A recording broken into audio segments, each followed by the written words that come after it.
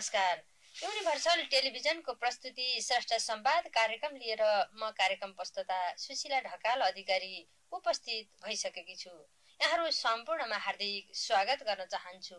यस कार्यक्रममा हामी अतिथि श्रेष्ठसँग रहेर साहित्यिक भलाकुसारी गर्नेछौँ र अतिथिज्यूका सिर्जना पनि सुन्नेछौँ। आउनुहोस् अब हामी हाम्रा अतिथिज्यूलाई स्वागत गरौँ। आजका हाम्रा अतिथि हुनुहुन्छ वरिष्ठ साहित्यकार आदरणीय व्यक्तित्व प्रमोद प्रधानज्यू यहाँलाई हार्दिक स्वागत छ श्रेष्ठ संवाद कार्यक्रममा। हिजो आज के गर्दै हुनुहुन्छ? अहिले त मेरो व्यस्तता भनेको विशेष गरी एउटा नेपाली यात्रा साहित्यको इतिहास लेख्ने क्रममा छु। केही लेखिसकिएको छ केही लेख्ने क्रममा छु। र अब विभिन्न फुटकर विभिन्न विधाका फुटकर रचनाहरू पनि छाटफुट देखिरहेको छु।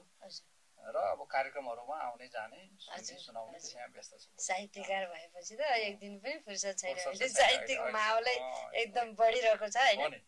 अब काठमाडौँमा प्रत्येक दिन चाहिँ अहिले तिन चारवटा तिन चारवटा कार्यक्रम छ। कुनै न कुनै कार्यक्रममा होइन फुर्सद भएको बेलामा चाहिँ जाने आउने त्यही भइरहेछ यहाँको साहित्यिक यात्रा कहिलेबाट सुरु भयो? मेरो पहिलो कविता मैले चाहिँ कक्षा छमा हुँदा लेखेको थिएँ दुई हजार छब्बिस बच्चैबाट सुरु भएर तर मैले थाहा पाउने गरेँ र मैले सक्रिय रूपमा निरन्तर लागेको चाहिँ दुई हजार उन्तिस सालदेखि हो। दुई हजार उन्तिस सालमा मेरो पहिलो कविता प्रकाशित भएको थियो। लेख्न चाहिँ छक्का पर्दा कविता लेख्नु तर त्यसको त्यसपछि मैले तिन वर्ष लगभग लगभग त्यति साह्रो सक्रिय पनि भएन र मलाई त्यति बेला कविता भन्ने पनि लगभग लगभग थाहा नभएको अवस्थामा थियो।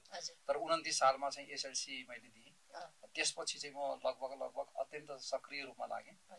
र अहिले त यो वर्ष पचास वर्ष मैले त्यो साहित्यमा लाग्न कुनै केही कसैको केही प्रेरणा पाउनुभयो कि कसैको केही लेखबाट आफूलाई मन छोयो कि के कसरी लाग्नु? त्यो मैले छब्बिस सालको कुरा गरेँ नि। छब्बिस सालमा चाहिँ त्यति बेला म जलेश्वरको लचमु साङ्गल विद्यालय भन्ने पढ्थेँ कक्षा छमा। र भदौ चार गते चाहिँ बाल दिवस राष्ट्रिय बाल दिवस मनाइन्थ्यो। त्यो बाल दिवसको दिन चाहिँ सुनाउनको लागि ल तिमीहरूले पनि कविता लेखेर ल्याऊ भनेर। त्यति बेलाका नेपालीका शिक्षक रामप्रसाद सिरज सरले भन्नु भएपछि मैले पनि घरबाट चाहिँ कोरकार गर्ने प्रयास गरेँ। मैले त के कोरेँ होला र दाई र बुवाले अलिअलि सघाइदिनु र त्यो कविता लेखेर मैले सुनाएँ। त्यो मेरो जीवनको मैले कति प्रतिशत लेखेको थिएँ त्यो पनि थाहा छैन। त्यसको याद छैन मलाई। र त्यति बेला चाहिँ त्यसरी त्यो सुरु गरेँ। र त्यो स्कुलबाट जलेश्वरको त्यो स्कुलबाट त्यति बेला सिर्जना भन्ने साहित्यिक पत्रिका निक्लिन्थ्यो त्यति बेला। छब्बिस यो लगभग लगभग भनौँ न छब्बिस साल सत्ताइस सालतिरको कुरो हो।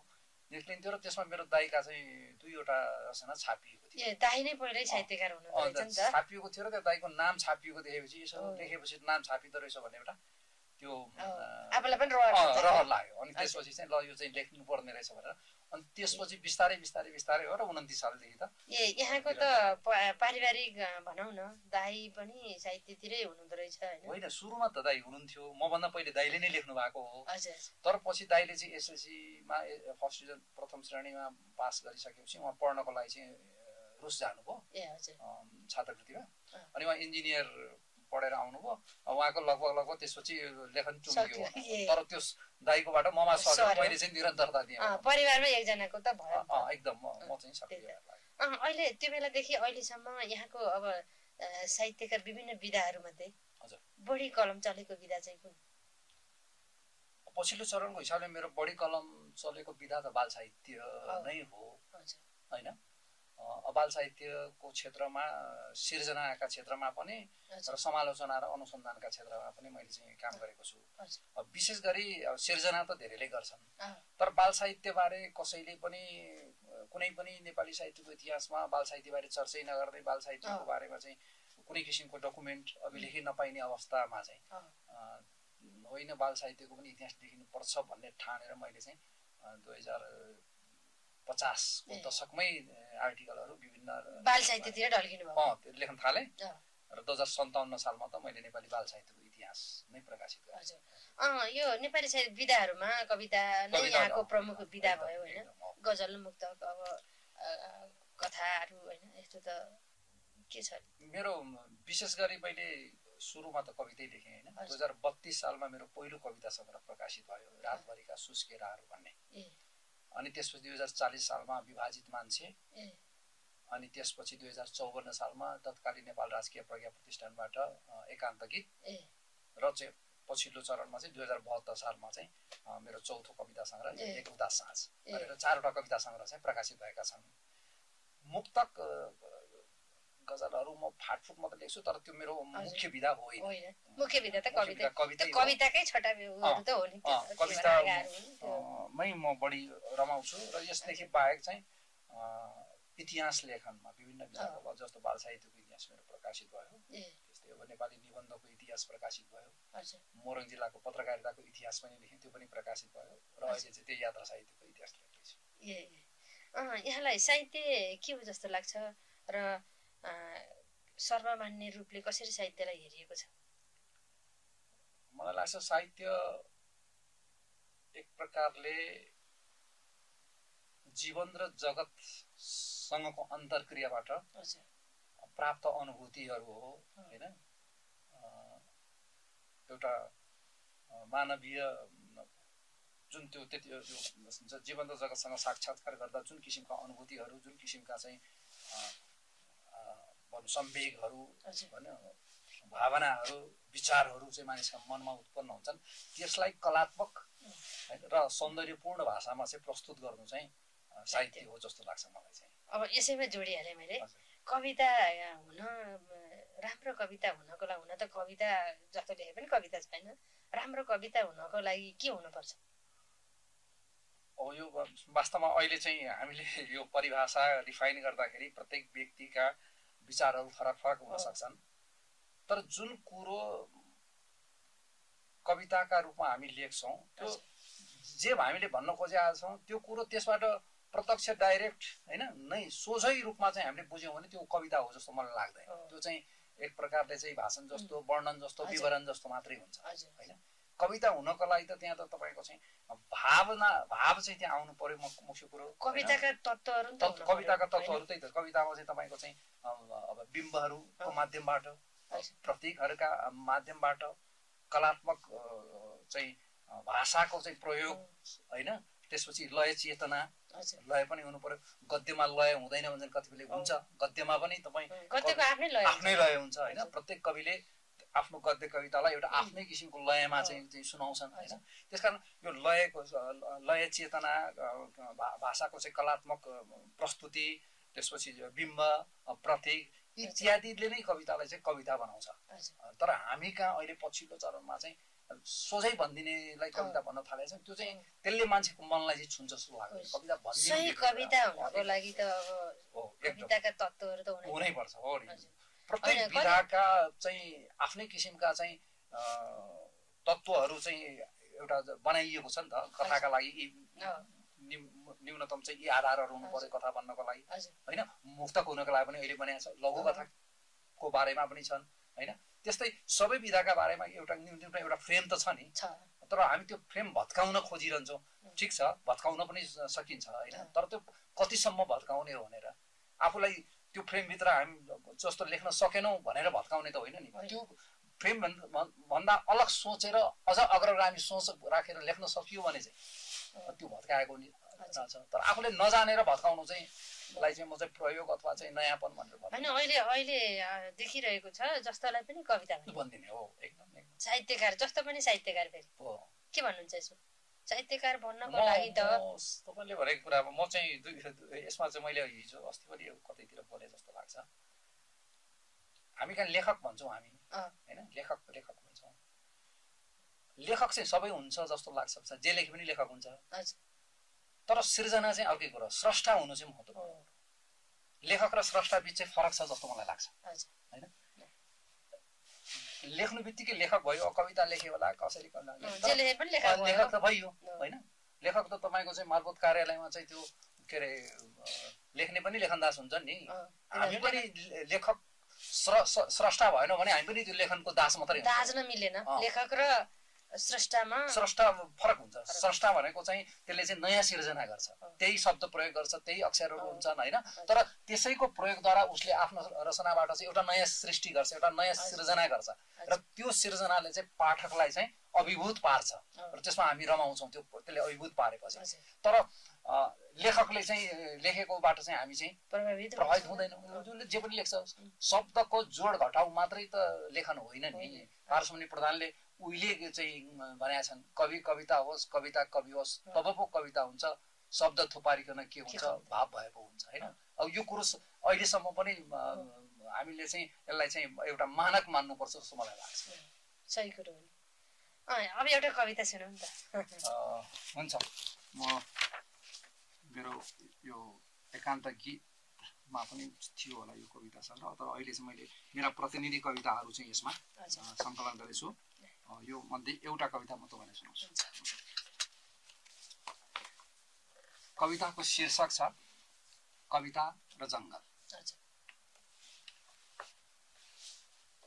कविता र जङ्गल अर्थात् जङ्गल र कविता मलाई एकै लाग्छ कविता र जङ्गल अर्थात् जङ्गल र कविता मलाई एकै लाग्छ पात जस्ता अक्षर वा अक्षर जस्ता पात पात जस्ता अक्षर वा अक्षर जस्ता पात हाँगा जस्ता शब्द वा शब्द जस्ता हाँगा रुख जस्ता पङ्क्ति वा पङ्क्ति जस्ता रुख। साँच्चै मलाई कविता र जङ्गल अर्थात् जङ्गल र कविता एकै लाग्छ। कविता पढ्छु। कविता पढ्छु र एक्लै एकान्त जङ्गलमा विचरण गरिरहँदाको सुखानुभूति गर्छु। जङ्गलमा घुम्छु र कोठामा एक्लै बसेर कविता पढिरहँदाको आनन्दानुभूति गर्छु। जङ्गलमा एक्लै जानी जानी हराउनु र कवितामा डुबेर हराउनु उस्तै मजा हुन्छ। जङ्गलमा एक्लै जानी जानी हराउनु र कवितामा डुबेर हराउनु उस्तै मजा हुन्छ। तपाईँ मान्नुहोस् नमान्नुहोस् तर मलाई कविता र जङ्गल अर्थात् जङ्गल र कविता एकै लाग्छ उस्तै लाग्छ। तपाईँ जेसुकै भन्नुहोस् तपाईँहरूसँग म एउटा प्रश्न गर्दैछु के जङ्गल पनि प्रकृतिको कविता होइन र? कति कति मिठो कविता। कविता हुनु त यस्तो साह्रै मिठो। यहाँ त तिसको दशकको प्रतिनिधि कवि पनि हुनुहुन्छ होइन। नेपाली कविताको क्षेत्रमा तिसको दशकका कविहरूको योगदानलाई कसरी मूल्याङ्कन गर्नुहुन्छ? वास्तवमा दुई हजार तिसको दशकमा नेपाली साहित्यमा एउटा महत्त्वपूर्ण स्रष्टाहरूको प्रवेश भएको काल हो दुई हजार तिस साल भनेको दुई हजार तिसको दशक भनौँ। त्यति बेला चाहिँ देशका विभिन्न स्थानहरूबाट जस्तो विराटनगरबाट पोखराबाट होइन त्यसपछि झापाबाट अनि अन्य विभिन्न ठाउँहरूबाट चाहिँ लेखनका क्षेत्रमा एउटा युवा पुस्ता चाहिँ प्रवेश गरिरहेको थियो र अत्यन्त सक्रिय रूपमा काठमाडौँ सक्रिय भइरहेको अवस्था थियो।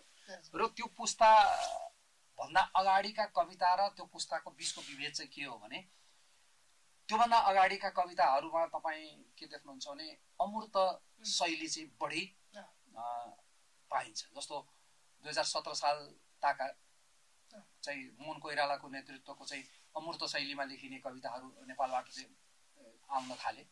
उता दार्जिलिङतिरबाट चाहिँ बैराई काइला र ईश्वर बल्लभ लगायतका चाहिँ आयामेली कविताहरू चाहिँ प्रकाशित हुन थाले। सत्र सालतिर सत्र साल त्यही समानान्तर रूपमा त्यही त्यही अवधिमा हो।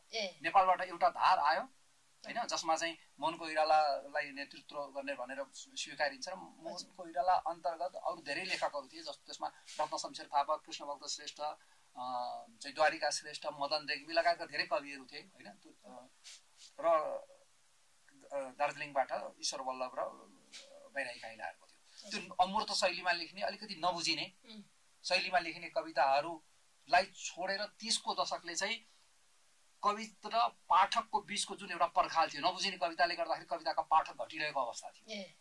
होइन? कविता चाहिँ नबुझिने लेख्नु नै एउटा मानक रूपमा रहिरहेको बेलामा तिसको दशकका आएका कविहरूले त्यो सीमाङ्कनलाई चाहिँ भत्काइदियो र एक प्रकारले चाहिँ सरल भाषा र शैलीमा पनि पाठकले बुझ्ने गरेर कविताहरू लेख्न सकिन्छ भन्ने कुरोलाई चाहिँ आफ्ना रचनाहरूका आफ्ना कविताका माध्यमबाट प्रस्तुत गर्यो। र त्यसले पोखराबाट त्यति बेला विजय बजिमे तीर्थश्रेष्ठ स्वरूभक्त उषा शेरसनहरू आए। विराटनगरबाट चाहिँ अशेष मल्ल कृष्णभूषण मल महेश के अरे नारायण तिवारी विष्णु बिउ घिमिरेहरू म त्यही विराटनगरबाटै हामी त्यहाँ सुरु गऱ्यौँ काठमाडौँबाट पनि त्यस्तै कतिपय साहित्यकारहरू चाहिँ सक्रिय हुनुभएको थियो।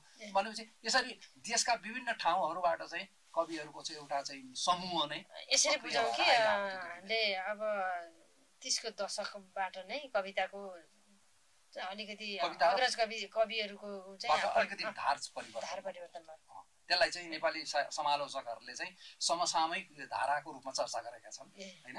त्यो बेलाको र अहिलेको त फरक धेरै नै फरक होला होइन? के छ? पछिल्लो चरणमा होइन फरक छ फरक नभएको त होइन। जस्तो अब एउटा कुरो त के पनि देखिन्छ नेपाली सत्र सालतिरको र अहिलेको त फरकै भयो फरक छ होइन? त्यसको कारण चाहिँ के हुन्छ भने राजनैतिक व्यवस्थासँग पनि यो साहित्य अलिकति रिलेटेड हुँदो रहेछ। सत्र साल पछिको अवस्थामा चाहिँ पञ्चायती व्यवस्था थियो त्यहाँ अलिकति बोल्न गाह्रो थियो कतिपय त्यसले गर्दा चाहिँ लुकाएर भन्नुपर्ने अवस्थाले गर्दाखेरि कतिपय कविहरूले चाहिँ आफ्ना कुराहरूलाई चाहिँ अमूर्त अब हामीले कविता रचना गर्दा नै राहित्यमा त केही राजनीतिमा त केही केही त परेकै अवस्थाले त्यसको कानुनले त्यसले गर्दाखेरि अलिकति अहिले त स्वतन्त्र छ जति जे लेखे पनि स्वतन्त्र छ। त्यो सत्र सालमा त त्यो लेख्ने बित्तिकै समाउने प्रविधि थियो होइन। त्यो भएर पनि अलिकति खुम्चेर लेख्नु खुम्चेर लेख्नु पर्यो क्या त्यो बेलामा। त्यो भएको होला। एकदम। त्यही हो। हजुर। अब अहिले तपाईँको अहिले हाम्रो पुस्ता र अहिले पछिल्लो चरणका कविताहरूमा पनि अलिअलि फरक त प्रष्ट छ। किन फरक छ भने बासठी त्रिसठीको जुन आन्दोलनपछि चाहिँ नेपाल चाहिँ एउटा एक किसिमको नयाँ चाहिँ राजनीतिक व्यवस्थामा प्रवेश गरेपछि धेरै राजनीतिक मुद्दाहरू होइन पछाडि पारिएका वर्गहरूका कुराहरू लैङ्गिक रूपले चाहिँ पछि पछाडि परेका वर्गको चाहिँ कुराहरू होइन त्यस त्यस्ता किसिमका कुराहरू चाहिँ अलिकति होइन अपाङ्गता भएकाहरूको चाहिँ समस्याहरू यस्ता विभिन्न किसिमका चाहिँ पछाडि परेका वर्गहरू पछाडि परेका भूगोलका कुरा समस्याहरूलाई चाहिँ अलिकति बढी प्रकाश पार्न रचनाका माध्यमबाट थालेको जस्तो चाहिँ मैले चाहिँ भेटिरहेको छु। त्यही त। यहाँले दुई हजार सन्ताउन्न सालमा नेपाली बाल साहित्यको इतिहास प्रकाशित गर्नुभयो। त्यस बाल साहित्यको पहिलो अनुसन्धानात्मक ग्रन्थ पनि थियो होइन? त्यो बेलाको। त्यो बेला होइन अहिलेसम्म पनि नेपाली नेपाली बाल साहित्यको इतिहास अर्को प्रकाशित भएको छैन अहिलेसम्म। त्यसपछि मोरङमा पत्रकारिताको अर्ध शताब्दी। दुई हजार एकसठी सालमा होइन? र नेपाली निबन्धको इतिहास दुई हजार छैसठी सालमा प्रकाशित गर्नुभयो। यसरी इतिहास लेख्ने रुचि र जाँगर आँट हौसला यसलाई कसरी आयो? अब यो वास्तवमा सुरुदेखि नै दुई हजार बत्तिस सालतिर चाहिँ विराटनगरमा क्याम्प कलेजमा चाहिँ पढ्दाखेरि हाम्रो चाहिँ एउटा समूह थियो युवा साहित्यिक परिवार भन्ने। त्यो क्याम्पसमा पढ्ने हामी विद्यार्थीहरू चाहिँ साहित्यमा रुचि हुनेहरूको एउटा अनौपचारिक सङ्गठन दर्ता भएको नभएको तर हामी आफै भेला हुने त्यो नाममा। त्यसमा चाहिँ हामी धेरै साथीहरू थियौँ र त्यसमा कविता सबैले सुनाउँथ्यौँ र सुनाइसकेपछि साथीहरूले चाहिँ समालोचना यसको टिप्पणी गर्ने काम चाहिँ मलाई दिन्थे। सुरुदेखि नै म चाहिँ अलिक समालोचनात्मक पुस्तकहरू अलिक बढी पढ्थेँ त्यो पढ्दा पढ्दै समालोचनाहरू अलिअलि लेख्न थालियो र चौवालिस सालमा मेरो केही अध्ययन केही अनुसन्धान भन्ने एउटा समालोचनाको पुस्तक प्रकाशित भयो चौवालिस सालमा। त त्यसपछि चाहिँ दुई हजार चौवालिस सालमा चाहिँ काठमाडौँमा चाहिँ एकाडेमीले त त्यति बेलाको एकाडेमीले चाहिँ एउटा बाल साहित्य सम्बन्धी कार्यशाला आयोजना गरेको बेलामा चाहिँ म सहभागी भएँ। सहभागी हुँदाखेरि मैले बाल कविताहरू त्यति बेला लेख्न थालेँ त्यसपछि। र त्यसबेला मलाई के थाहा भयो चाहिँ बाल साहित्यबारे त कुनै इतिहासमा लेखिएको छैन अनि त्यो बाल साहित्यको इतिहास खोज्न थालेँ। त्यो निक्ल्यो।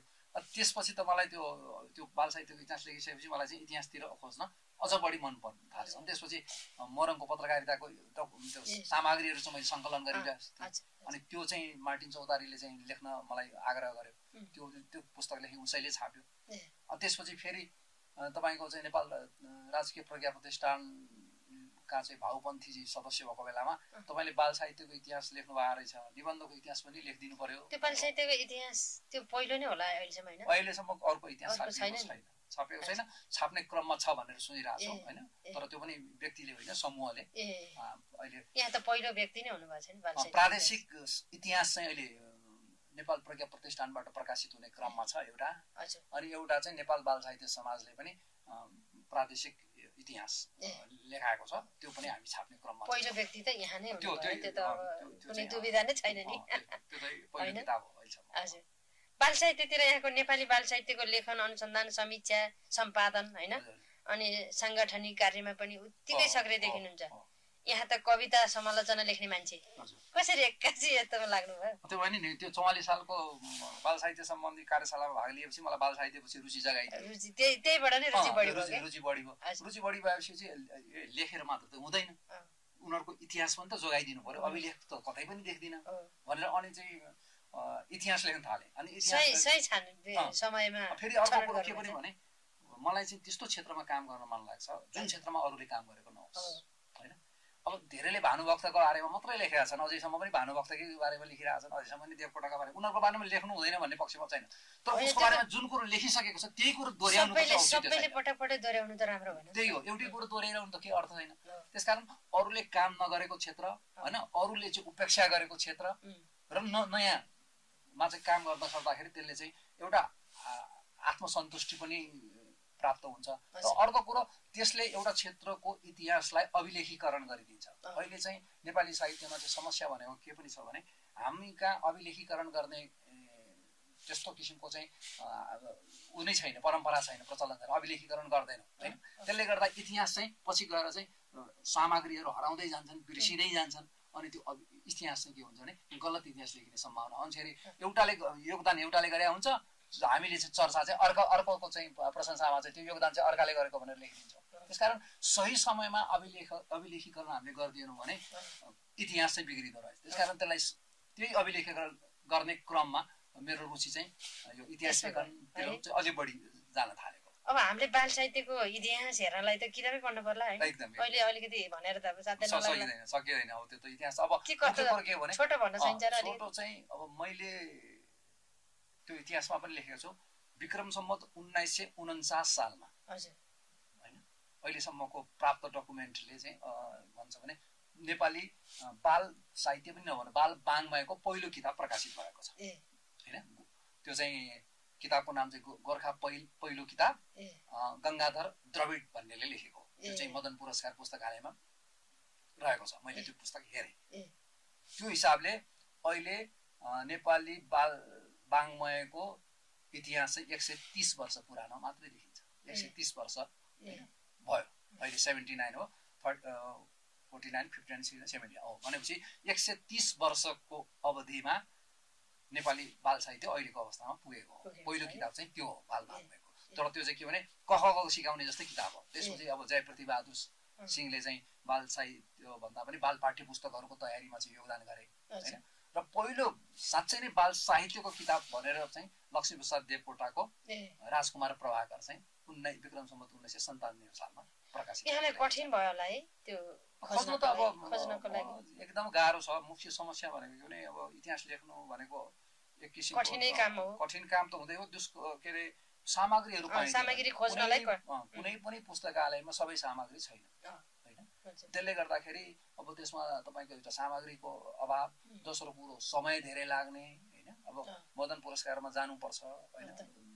दिनभरि बस्नु बस्यो अनि त्यहाँ भएको किताब झिक्न लायो पढ्यो टिपोट गर्यो अनि आउनुपर्छ होइन? अब त्यो चाहिँ समस्याहरू छन् त्यस्तो धेरै समस्या छ अनि यहाँ चाहिँ कुराहरू धेरै छ। अब हामीसँग समय छोटो छ होइन? छोटो समयमा सक्नु छ। यहाँको अब साहित्यिक कृति चाहिँ कति छन् त?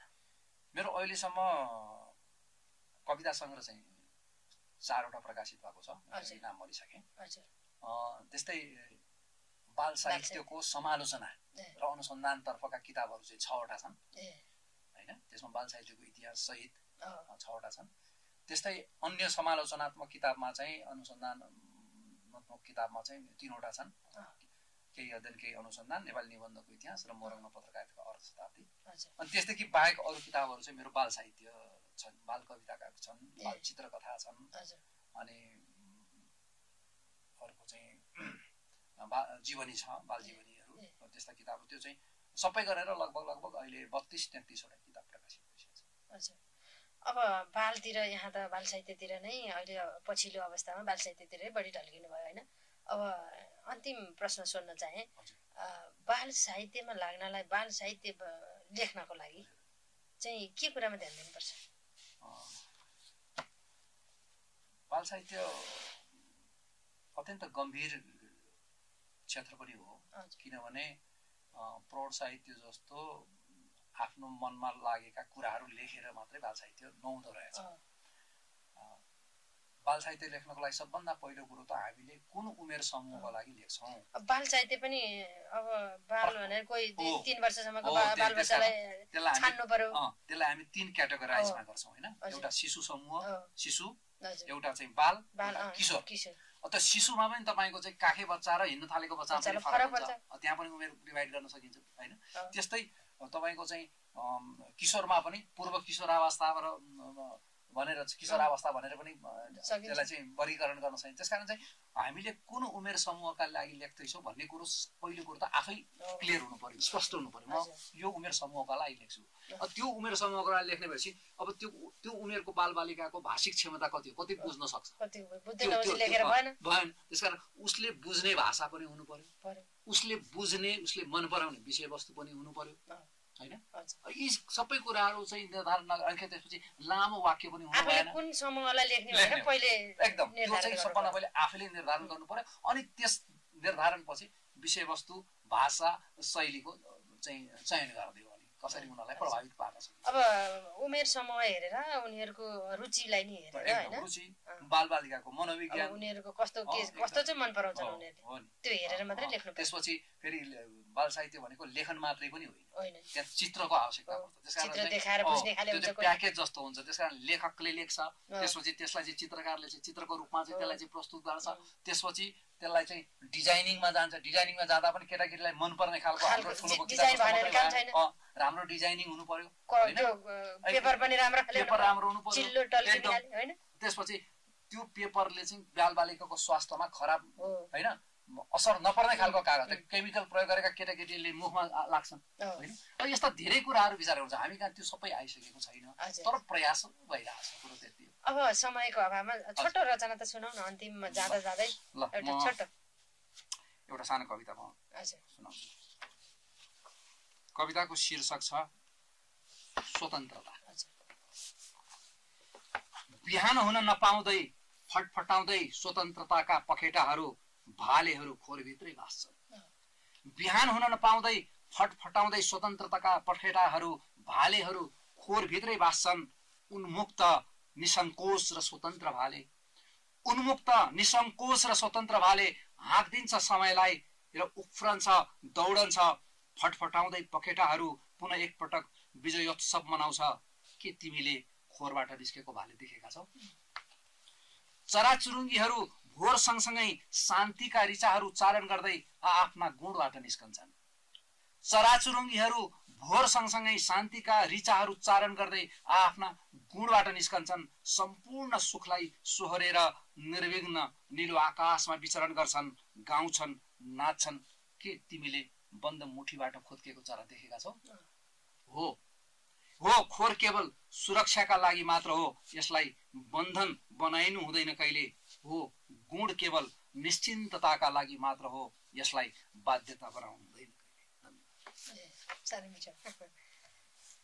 यहाँले अहिले पछिल्लो अवस्थामा के के लेखनमा सक्रिय हुनुहुन्छ? के पुस्तक नयाँ पुस्तक आउँदैछ कि?